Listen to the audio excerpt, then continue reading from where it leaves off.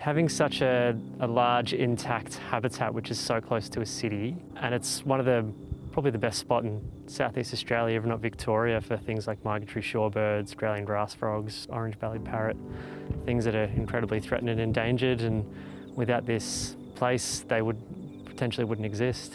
We're one of the only places, if not the only sort of Ramsar listed, so internationally significant wetland in Australia, which actually actively manages man-made ponds for migratory shorebirds um, and also for other species. Yeah, this is a really special place.